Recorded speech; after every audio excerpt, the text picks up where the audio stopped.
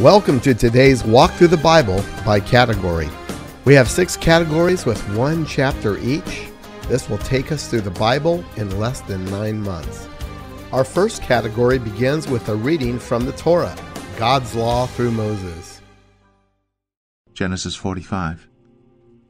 Then Joseph could not control himself before all those who stood by him. He cried, Make everyone go out from me. So no one stayed with him when Joseph made himself known to his brothers. And he wept aloud so that the Egyptians heard it, and the household of Pharaoh heard it. And Joseph said to his brothers, I am Joseph. Is my father still alive?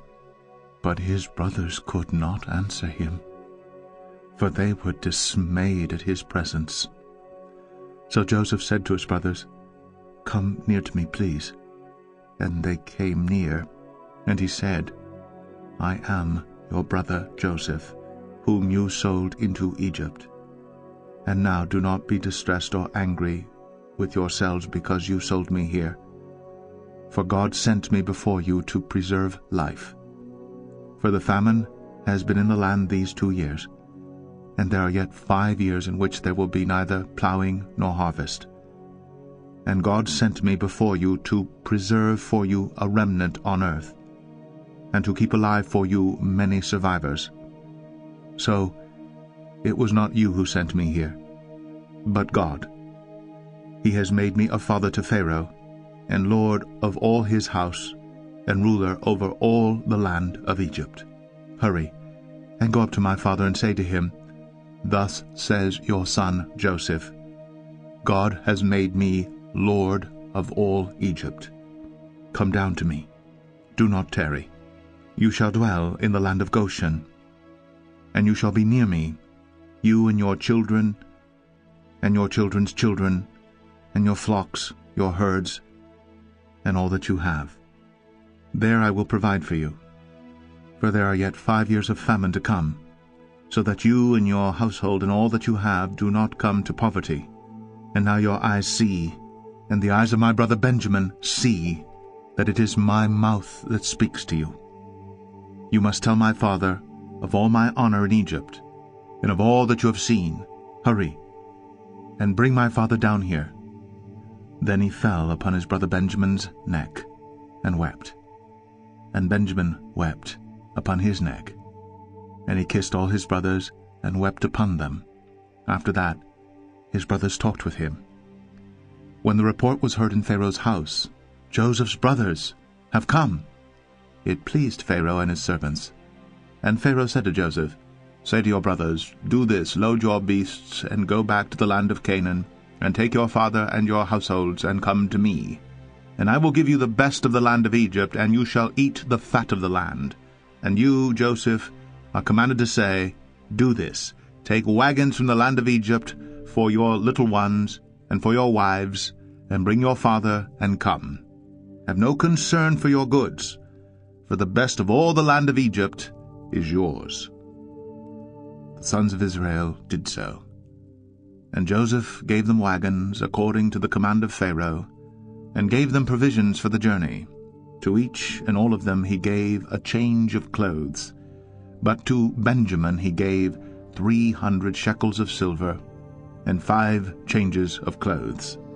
To his father he sent as follows ten donkeys loaded with the good things of Egypt, and ten female donkeys loaded with grain, bread, and provision for his father on the journey. Then he sent his brothers away, and as they departed, he said to them, Do not quarrel on the way. So they went up out of Egypt, and came to the land of Canaan to their father Jacob. And they told him, Joseph is still alive, and he is ruler over all the land of Egypt. And his heart became numb, for he did not believe them. But when they told him all the words of Joseph, which he had said to them, and when he saw the wagons that Joseph had sent to carry him, the spirit of their father Jacob revived. And Israel said, It is enough. Joseph, my son, is still alive. I will go and see him before I die. Our second chapter is from Israel's history. Judges 21. Now the men of Israel had sworn at Mizpah, No one of us shall give his daughter in marriage to Benjamin. And the people came to Bethel and sat there till evening before God. And they lifted up their voices and wept bitterly, and they said, O Lord, the God of Israel, why has this happened in Israel, that today there should be one tribe lacking in Israel? And the next day the people rose early, and built there an altar, and offered burnt offerings and peace offerings. And the people of Israel said, Which of all the tribes of Israel did not come up in the assembly to the Lord?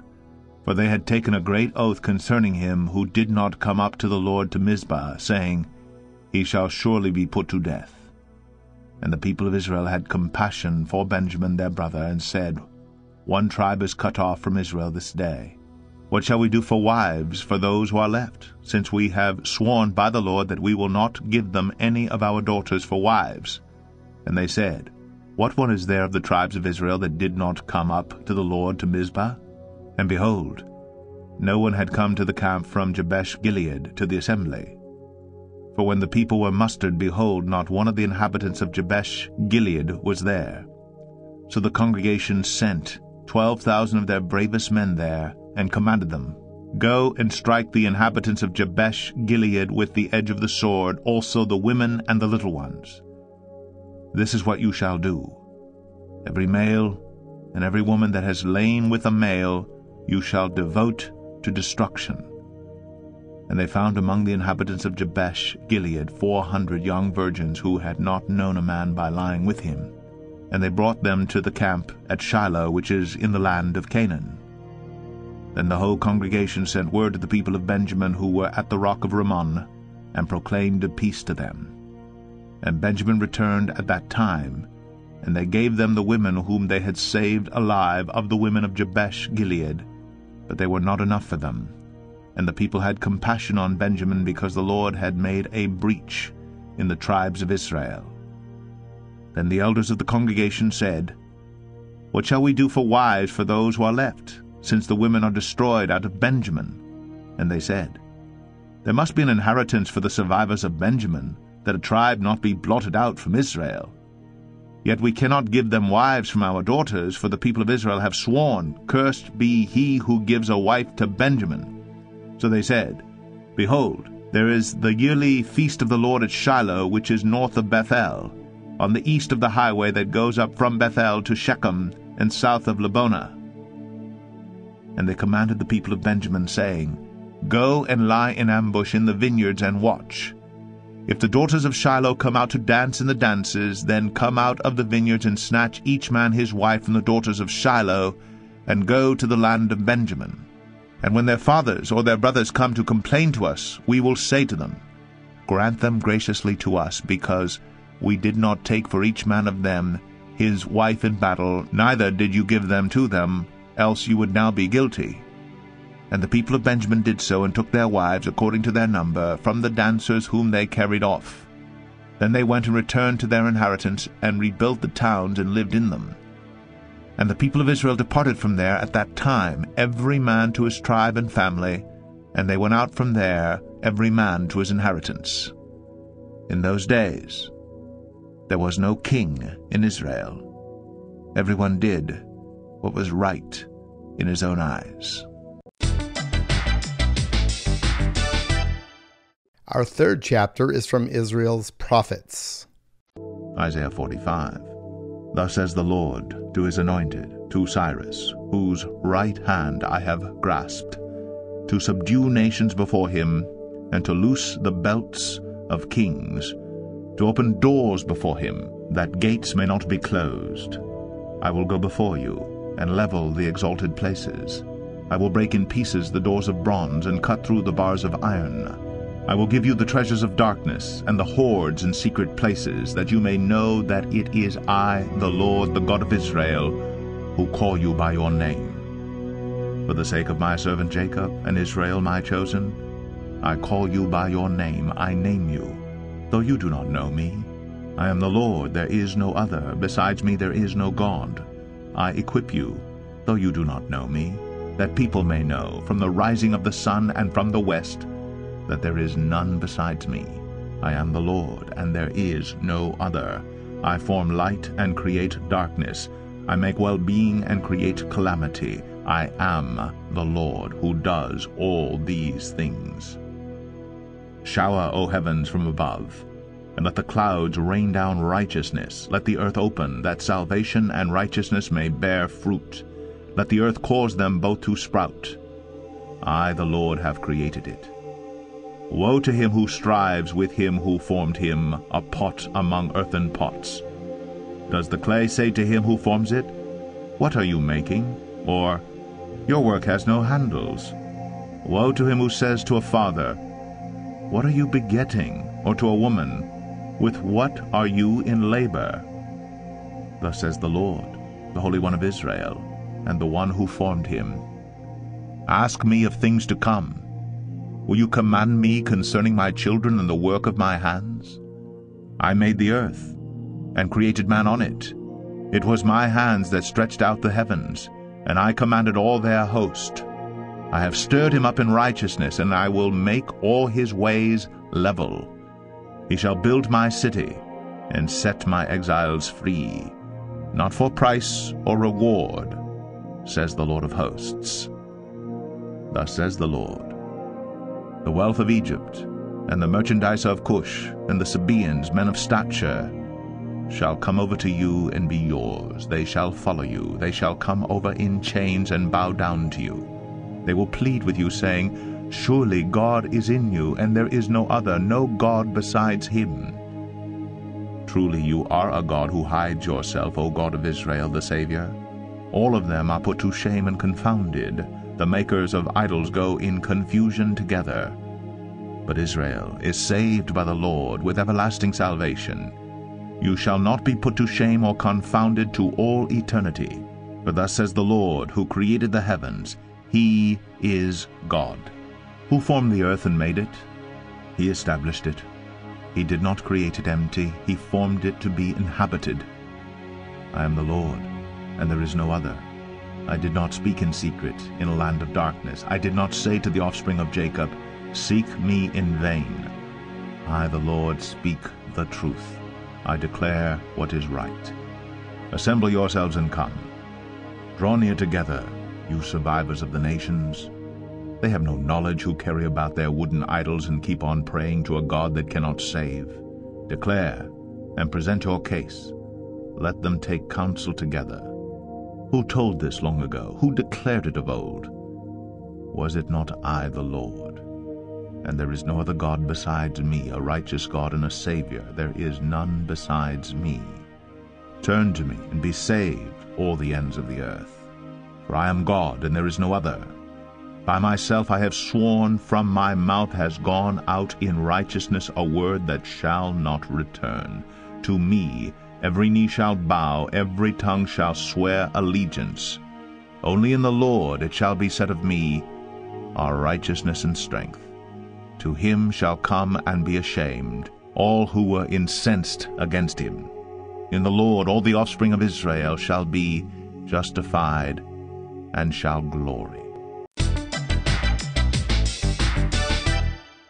Our fourth chapter is from Israel's wisdom and poetry. Psalm 3 O Lord, how many are my foes?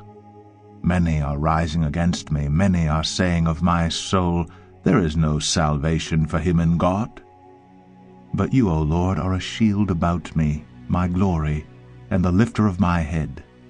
I cry aloud to the Lord, and he answered me from his holy hill. I lay down and slept. I woke again, for the Lord sustained me. I will not be afraid of many thousands of people who have set themselves against me all around. Arise, O Lord, save me, O my God. For you strike all my enemies on the cheek, you break the teeth of the wicked. Salvation belongs to the Lord. Your blessing be on your people. Our fifth chapter is from the Gospels. The Gospel according to Luke, chapter 1. inasmuch as many have undertaken to compile a narrative of the things that have been accomplished among us, just as those who from the beginning were eyewitnesses and ministers of the word have delivered them to us. It seemed good to me also, having followed all things closely for some time past, to write an orderly account for you, most excellent Theophilus, that you may have certainty concerning the things you have been taught. In the days of Herod king of Judea, there was a priest named Zechariah of the division of Abijah, and he had a wife from the daughters of Aaron, and her name was Elizabeth. And they were both righteous before God, walking blamelessly in all the commandments and statutes of the Lord. But they had no child, because Elizabeth was barren, and both were advanced in years. Now, while he was serving as priest before God when his division was on duty, according to the custom of the priesthood, he was chosen by lot to enter the temple of the Lord and burn incense. And the whole multitude of the people were praying outside at the hour of incense, and there appeared to him an angel of the Lord, standing on the right side of the altar of incense. And Zechariah was troubled when he saw him, and fear fell upon him. But the angel said to him, Do not be afraid, Zechariah, for your prayer has been heard, and your wife Elizabeth will bear you a son, and you shall call his name John. And you will have joy and gladness, and many will rejoice at his birth.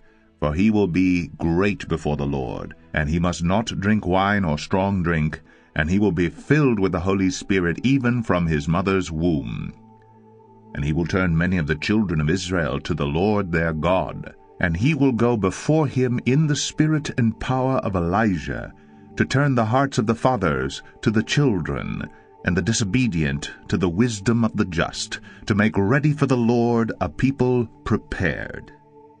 Then Zechariah said to the angel, How shall I know this? For I am an old man, and my wife is advanced in years.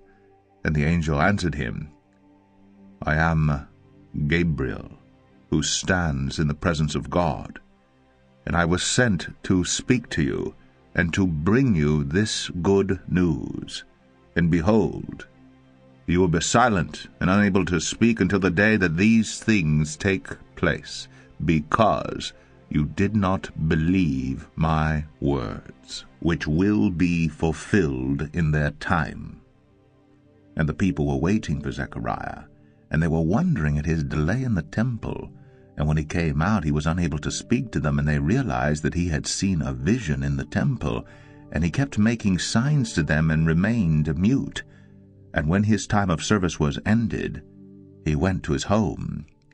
After these days his wife Elizabeth conceived, and for five months she kept herself hidden, saying, Thus the Lord has done for me in the days when he looked on me to take away my reproach among people.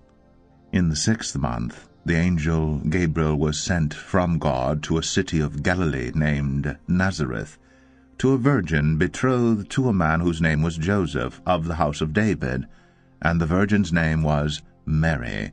And he came to her and said, Greetings, O favored one, the Lord is with you. But she was greatly troubled at the saying, and tried to discern what sort of greeting this might be. And the angel said to her, Do not be afraid, Mary, for you have found favor with God, and behold, you will conceive in your womb and bear a son, and you shall call his name Jesus. He will be great, and will be called the Son of the Most High and the Lord God will give to him the throne of his father David, and he will reign over the house of Jacob forever. And of his kingdom there will be no end. And Mary said to the angel, How will this be, since I am a virgin? And the angel answered her, The Holy Spirit will come upon you, and the power of the Most High will overshadow you. Therefore the child to be born will be called Holy, the Son of God. And behold, your relative Elizabeth in her old age has also conceived a son, and this is the sixth month with her, who was called barren.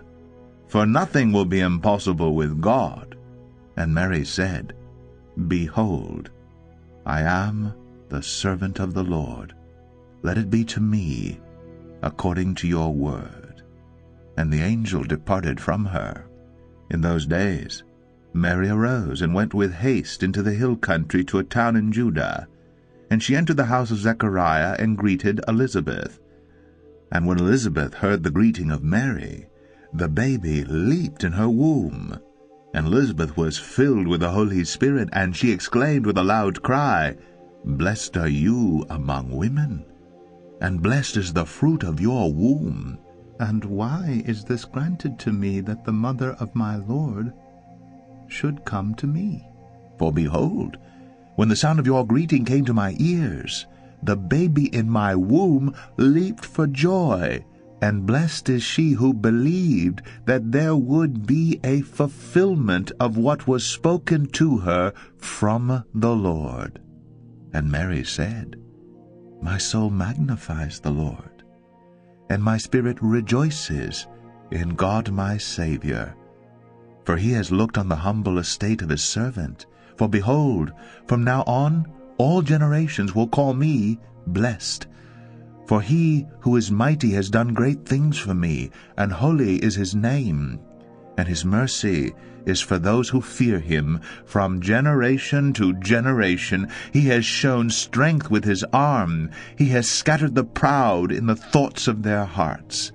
He has brought down the mighty from their thrones, and exalted those of humble estate.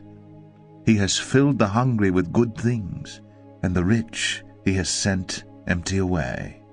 He has helped his servant Israel in remembrance of his mercy, as he spoke to our fathers, to Abraham, and to his offspring forever. And Mary remained with her about three months, and returned to her home. Now the time came for Elizabeth to give birth, and she bore a son. And her neighbors and relatives heard that the Lord had shown great mercy to her, and they rejoiced with her. And on the eighth day they came to circumcise the child, and they would have called him Zechariah after his father, but his mother answered, No, he shall be called John. And they said to her, None of your relatives is called by this name. And they made signs to his father, inquiring what he wanted him to be called. And he asked for a writing tablet, and wrote, his name is John. And they all wondered, and immediately his mouth was opened, and his tongue loosed, and he spoke, blessing God. And fear came on all their neighbors, and all these things were talked about throughout all the hill country of Judea. And all who heard them laid them up in their hearts, saying, What then will this child be? For the hand of the Lord was with him. And his father Zechariah was filled with the Holy Spirit and prophesied, saying, Blessed be the Lord God of Israel, for he has visited and redeemed his people, and has raised up a horn of salvation for us in the house of his servant David, as he spoke by the mouth of his holy prophets from of old, that we should be saved from our enemies and from the hand of all who hate us, to show the mercy promised to our fathers, and to remember his holy covenant, the oath that he swore to our father Abraham to grant us that we, being delivered from the hand of our enemies, might serve him without fear, in holiness and righteousness, before him all our days.